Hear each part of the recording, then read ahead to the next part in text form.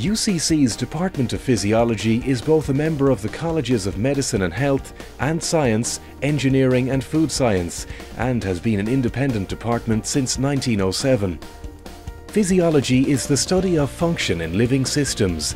This includes how organisms, organ systems, organ cells and biomolecules carry out the chemical or physical functions that exist in a living system.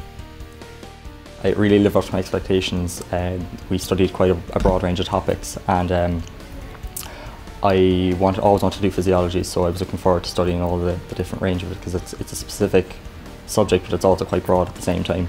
Um, so I'm currently on a placement at the moment, um, a voluntary placement just for experience for fourth year where I'll be going into more of the research aspect of the programme and um, I'm looking forward to getting into the project side of things.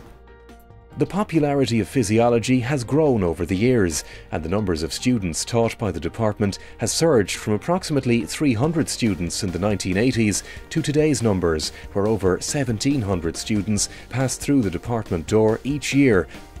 All final year physiology BSc undergraduates also conduct a research project as part of their degree.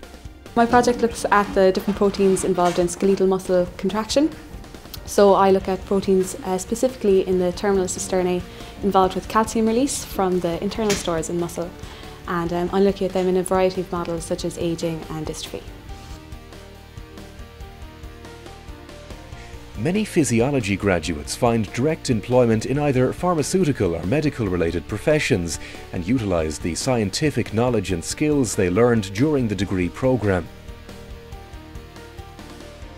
I would say it's, even though there's a taught aspect to it, and I'm looking forward to getting into the more kind of molecular theoretical side of it, I'm kind of looking forward as well to the research project, um, getting more into the, uh, you know, lab work and, and experience of that, you know, so hopefully my placement will stand to that too.